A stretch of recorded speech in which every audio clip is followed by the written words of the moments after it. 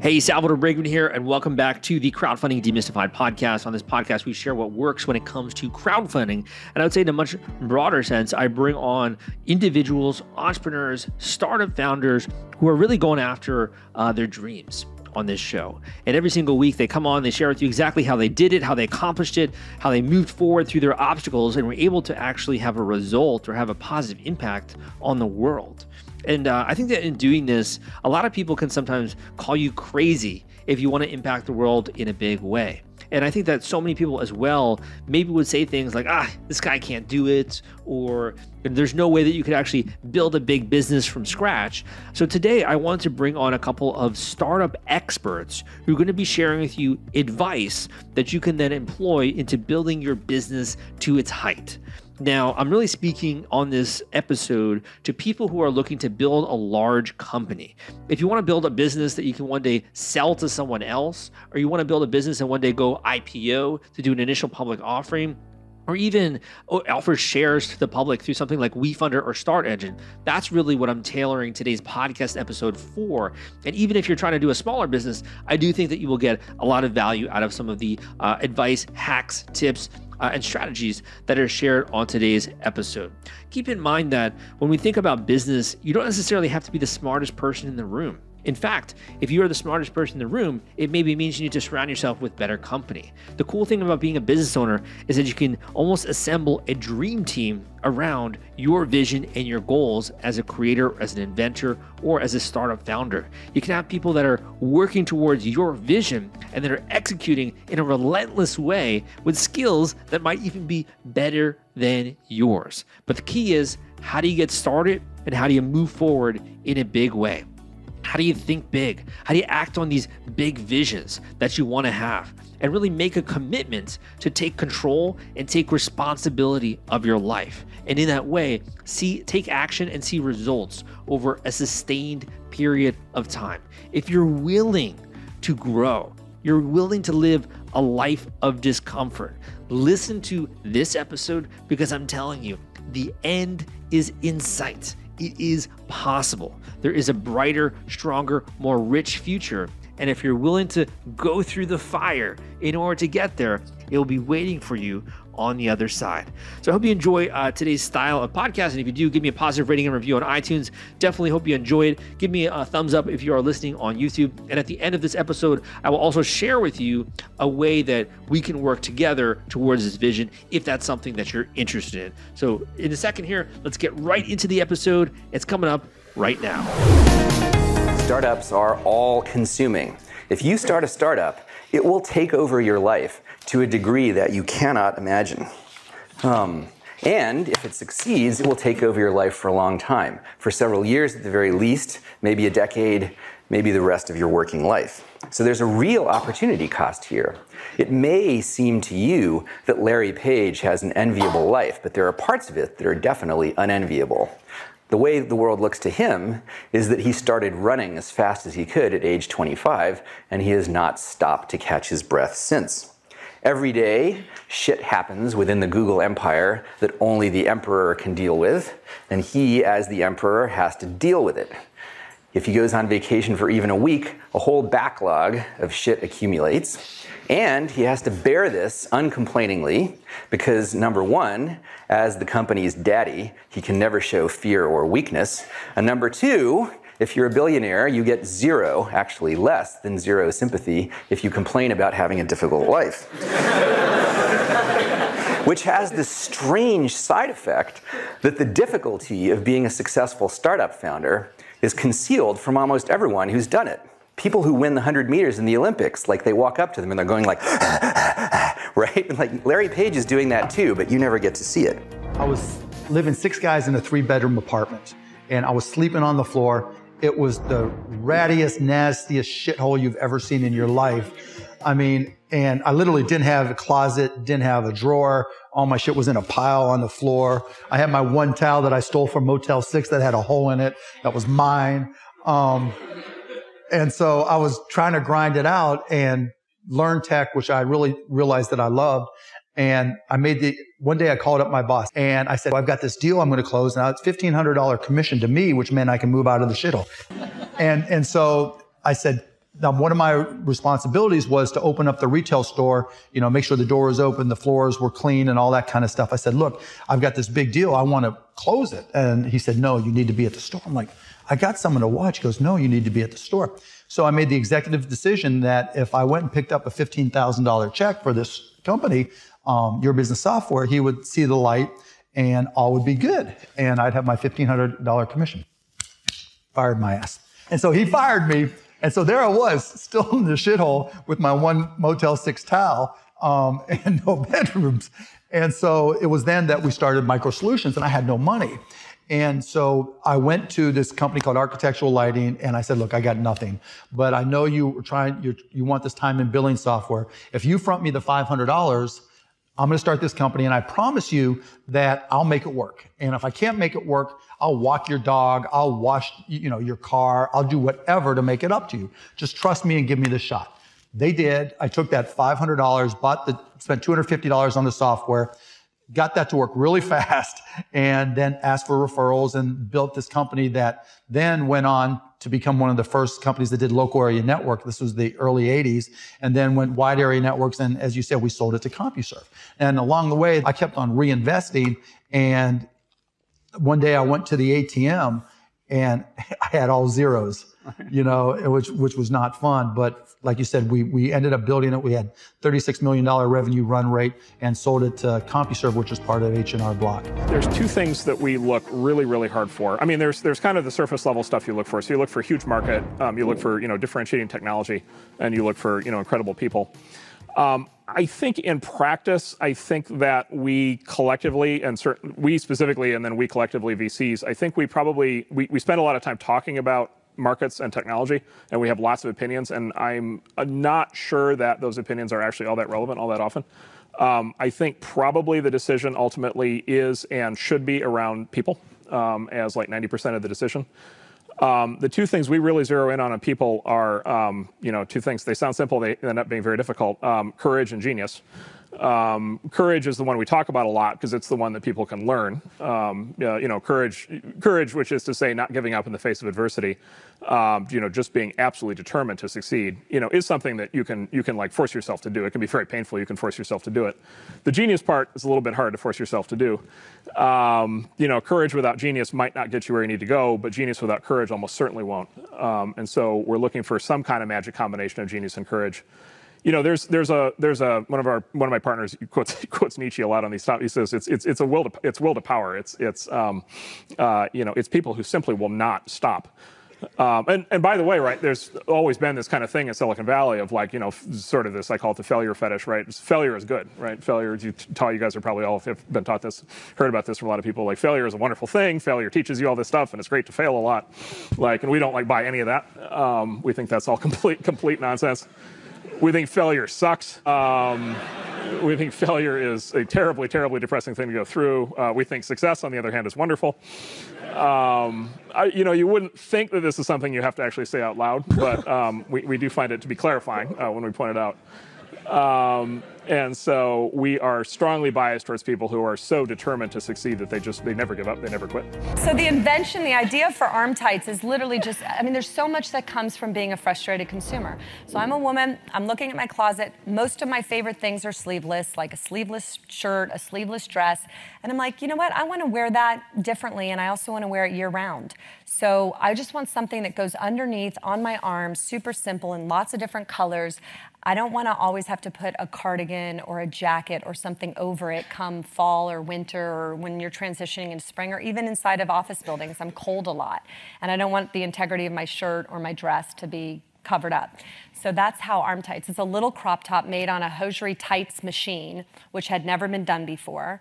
And you put it on over your head, it stops just below your bra. And the reason that is for that is less bulk under your clothes. It's super breathable, easy to wear. And then it just literally like with one $30 item, your whole closet exponentially grows with looks and how you want to layer it and wear it. I love it. But yeah, ideas clearly, are. You know, clearly, I love it. I have uh, my, my, my assistant, who's my right hand, Lisa. She's been uh, my right hand for 16 years, can attest to this. But I have 99 pages. I don't know why it's 99, but it's, she told me the other day it's 99 pages, single space typed of ideas. I need one more idea. So um, I, e- I think of ideas constantly on airplanes and car, you know, talking to somebody, and I email it to myself, and then I just keep them and log them. And then also your willingness to get the job done, like um, kind of navigating and doing what it takes. And um, and so I, yeah, I've, there's so much about my journey where I was like, I am not going to let the outcome or my success be contingent on other people as much as I can control it, help it, navigate it, I'm going to.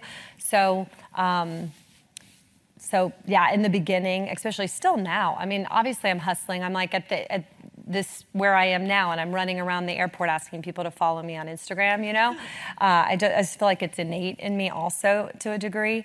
Um, but the uh, in the beginning, ex- like there's a few examples that come to mind. You mentioned that I paid my, I called my friends and asked them to go buy Spanx, and I wrote everybody checks and sent them a check. Um, because I needed to drive momentum and I had no money to advertise. So I'm like, this product's gonna sit on the shelf. So I needed to get people to go in and buy it. I also, when I went into the stores, I realized very quickly that my product was in the sleepiest part of the department store. It was back in the corner and nobody was going there. So then I immediately um, uh, went to Target and I bought um, envelope dividing, dividers that you put on your home desk. And I ran around Neiman Marcus and put them at every register and I put Spanx in them, and then I walked away. and Neiman's has like impeccable visual rules and regulations, and um, and I did that because I had to get my product out of the department, and because I did that, women in shoes started buying Spanx, and women in contemporary, and and um, those decisions made such a big difference. And by the time somebody figured out that nobody else had approved it, because I, you know, everybody thought somebody else approved it, um, it was so successful that the head of Neiman's was like, whatever this girl's doing, let her keep doing it. I mean, I have so many stories like that of, of just what do I need to do? There's a friend of mine who's got a good saying, which is that starting a company is like eating glass and staring into the abyss. Okay, that's um, that's generally what happens because um, when you first start a company, there's lots of optimism and things are, things are great, and then so happiness at first is high. Then you encounter all sorts of issues, uh, and happiness will steadily decline, and then you'll go through a whole world of hurt. That's, and then eventually, you'll, if you succeed, and in most cases you will not succeed, um, and, and, Tesla almost didn't succeed, came very close to failure. Um, then, if, if, you succeed, then after a long time, you will finally get back to happiness. I think too is you've got to make sure that that you that whatever you're doing is a great product or service. It, has to be really great. And I go back to what I was saying earlier, where um, if you're a new company, I mean, unless it's like some new industry or, or new market that, if it's an untapped market, or then then uh, you have more ability to. You, there's, there's the standard is lower for your product or service. But if you're entering anything where there's an existing marketplace against large entrenched competitors, then your product or service needs to be much better than theirs. It can't be a little bit better because then you put yourself in the shoes of the consumer and they say, why would you buy it as a consumer? You're always going to buy the trusted brand unless there's a big difference. So a lot of times, uh, you know, entrepreneur will come up with something which is only slightly better. Mm. Um, and it's, it's not, it can't just be slightly better. It's got to be a lot better. Mm. Uh, number three, I'd say, is constantly seek criticism. Uh, a a well a well thought out critique of whatever you're doing is as valuable as gold, um, and you should seek that from everyone you can, but particularly your friends. Um, usually, your friends know what's wrong but they don't want to tell you because they don't want to hurt you. Um, so lift you up, sort of your. Yeah, yeah. So they, you know, they say, "Oh, I want to encourage my friend, so I'm, t- I'm not going to tell him what I think is wrong with this product." Yeah. It doesn't mean your friends are right, uh, but very often they are right, mm. um, and you at least want to listen very carefully to what they say. If you're worried about the fulfillment and shipping part of your Kickstarter campaign when it comes to getting out all those perks and rewards to your backers, rest assured I've put together a complete Kickstarter fulfillment and shipping checklist for you, and it's free. This is sponsored by the folks at Fulfillrite, and they thought that you should have this checklist as part of your arsenal going into a crowdfunding campaign. If you want to get instant access to this checklist and it's free, you can go to fulfillrite.com slash checklist. Again, that is F-U-L-F-I-L-L-R-I-T-E dot com slash checklist. Fulfillrite.com slash checklist. Just go to that link and you can download it immediately. Yeah, it, it is amazing when you really think about, all right, I want to, what do I want to learn? Um, classic thing to learn is, will customers sign up for my product at all? If it was already built, if I already had it perfect, you know, would they want to buy it from me? Well, easiest way to do that test is to put up a single one-page landing page where we describe what the product is, that we pretend we we've already built it, and simply say, would you like to pre-order this product right now? In most cases, when I've done that test, I didn't even have to make page two where I apologize that the product doesn't exist because mm-hmm. nobody even wants it. Mm-hmm. Um, it's also possible to build a much less functional prototype than you would normally think about, you know, an engineer building. Uh, the key is to try to simulate as much of the experience for customers as possible. So uh, there's a very famous company called Dropbox that today is one of Silicon Valley's hottest companies. They had this very complicated technology for file sharing that they were trying to build, and the whole idea was it would give you this magical experience that just worked across all your computers, magic synchronization. And the way they built their MVP was not with an ounce of technology. They just made a video a video of this kind of prototype that they had done built on their computer that made it look like it would work like magic. Mm-hmm. But the video showed you what the experience would be, and then they used the video to get people again to sign up to pre-order to commit to be part of their community, mm-hmm. and that was enough without any technology to show them they were on the right track. And how do when you run that kind of pre-product experiment?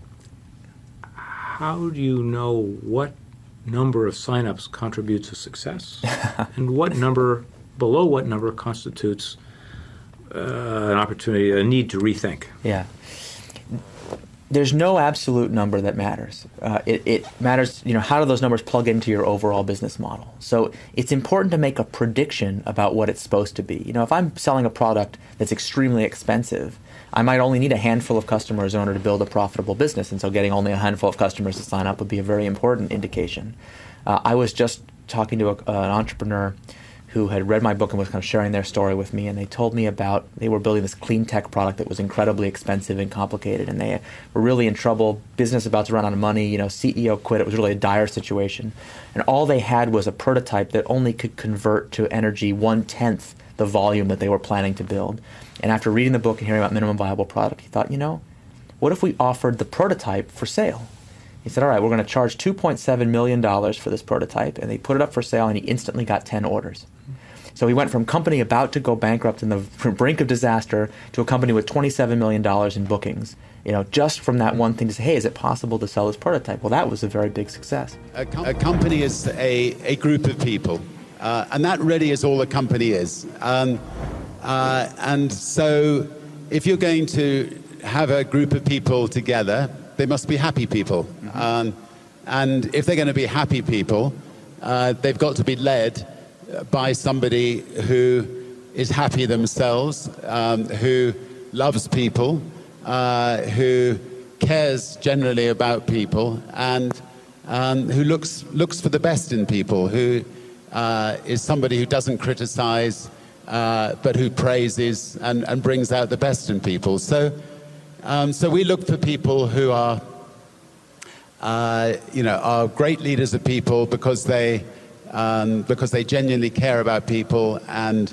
uh, and, and, and I think, uh, you know, we, we're lucky at Virgin, those, that's the kind of people we've got. Now, if a company brings in somebody into a company that's not that kind of person, uh, they can destroy a company very quickly. If you destroy the morale in a company, it's very, very difficult to get that morale back. Um, and so we try generally to promote from within our companies so we know people's strengths and weaknesses before we, before we promote them. Um, we do sometimes bring people in from outside and you know, we, we, we try very hard to, you know, uh, to make sure that they're the kinds of people that we'll get on with. When you grow up, you tend to get told that the world is the way it is, and your your life is just to live your life inside the world. Try not to bash into the walls too much. Uh, uh, try to have a nice family life. Uh, have fun. Save a little money.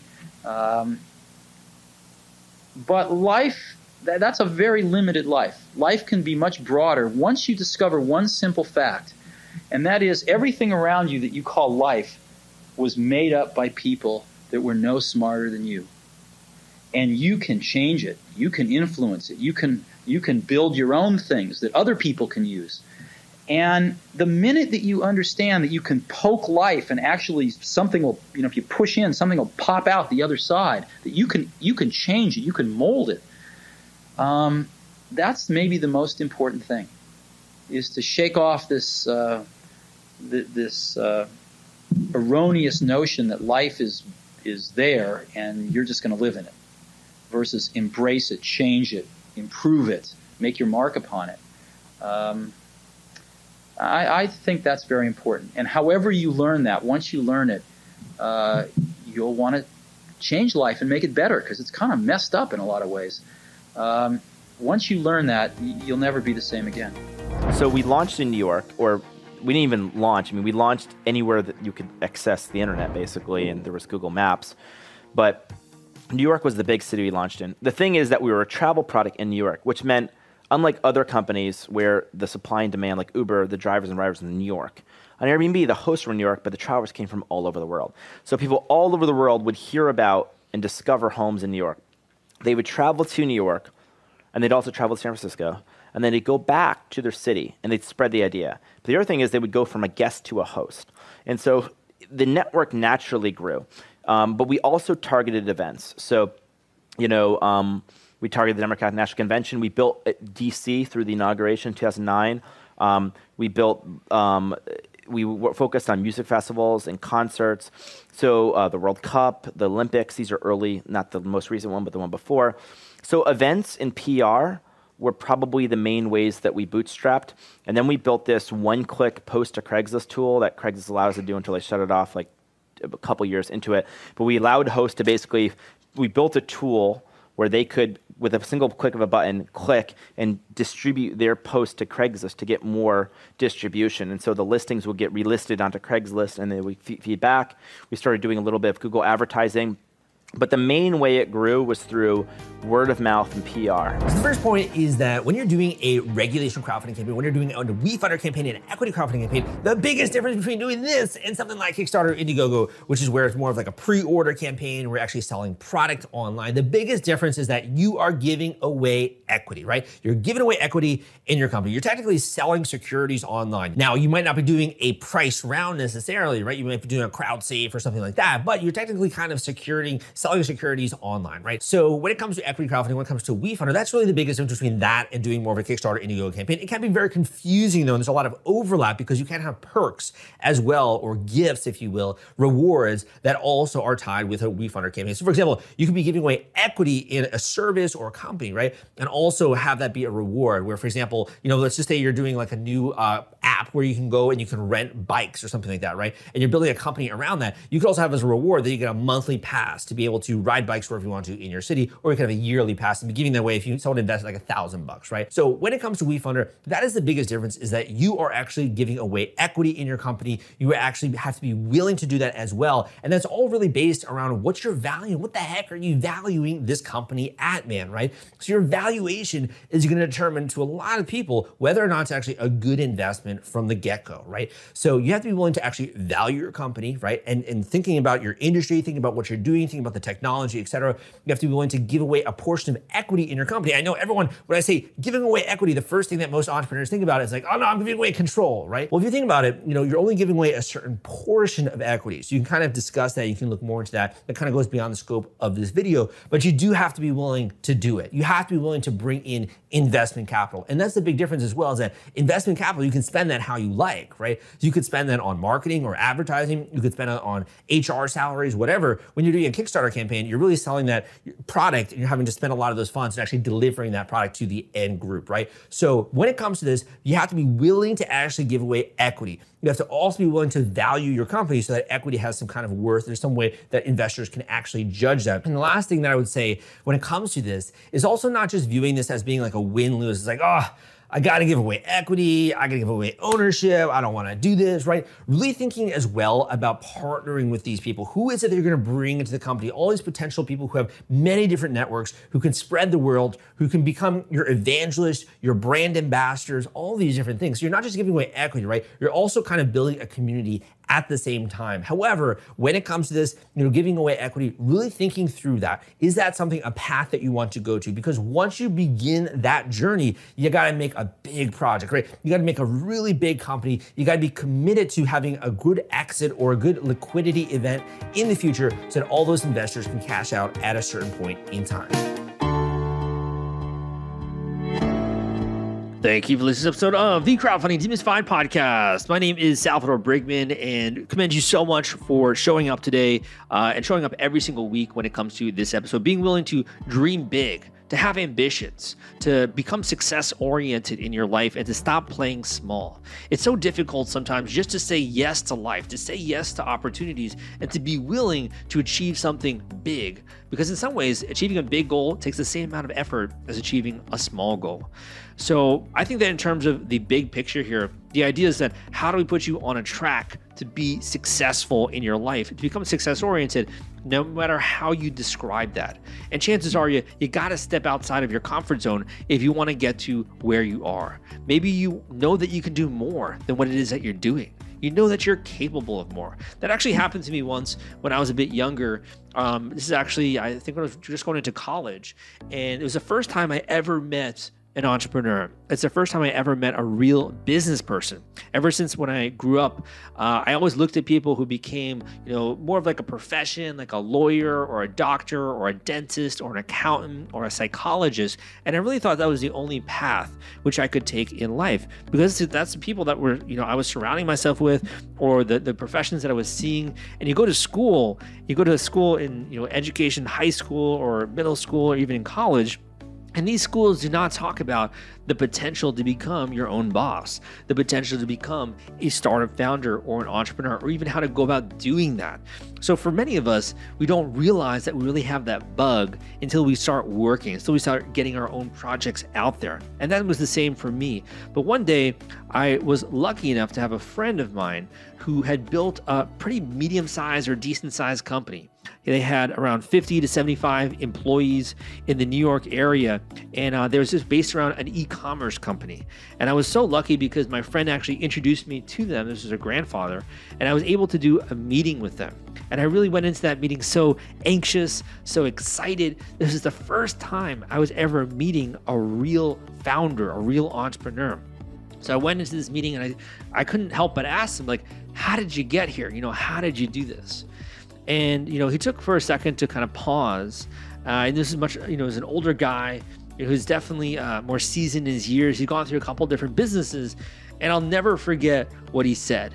And he said that, you know, you just got to believe in yourself, right? You just got to be willing to believe that this is possible. And the second thing he said is kind of made me laugh a little bit, which is, and you got to advertise, right? you got to believe in yourself and you got to advertise. And you know, he told me a couple of other things as well in that conversation that really stuck with me. But um, that never that, that really left an impression on me, that experience of being able to talk to someone who had been there and done it and thus allowed me to have much more belief and confidence in starting my own business. And I've always wanted to provide a, bit of a similar or bite sized experience for other creators out there. So, whether you're interested in starting your own business, using crowdfunding as a method to get funding and validation for your product, or even considering other forms like equity crowdfunding, right, in order to raise capital for your startup company, I do offer a service which is my one on one individual intensive coaching calls with me if you've been listening to this podcast and you want to speed up your success, if you want to move forward in your life and get more education and information about crowdfunding, about how to do this, about your strategy, about execution, and even talk about other ways that I can maybe help you in your vision here and in your goals, go and check out my individual one-on-one coaching call option at crowdcrux.com slash coaching. That link is C-R-O-W-D-C-R-U-X.com slash coaching. That link is crowdcrux.com slash coaching. You can fill out that form and we can get that call scheduled ASAP regardless of where you are in your journey always try to seek out these mentors because i'm telling you it's going to make it it's so much easier for you to actually understand what to do next but also it's going to feel much more real. When you when you when i walked into his facility and actually saw this office right of someone who has like 40 plus you know 50 employees or more and also uh, as well a fulfillment team that was working with this e-commerce company it was so cool because i realized like this guy did this out of nothing, this is possible. You got to believe yourself and you got to advertise, right? So, some great lessons. Thank you so much. My name is Sal or Salvador Briggman. Hope you enjoyed this episode. Give me a positive rating and review, and I will see you next time.